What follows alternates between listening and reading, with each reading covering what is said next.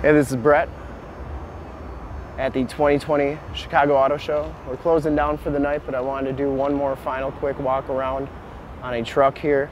We have a 2020 Ford F-150 Harley Davidson edition.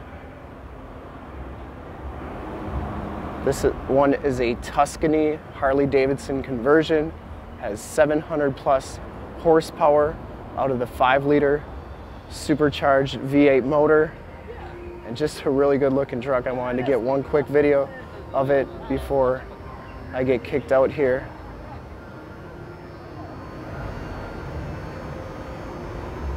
They had this one all opened up today that people could check out on the inside. I don't know if it's still open or not. I think it's probably locked up.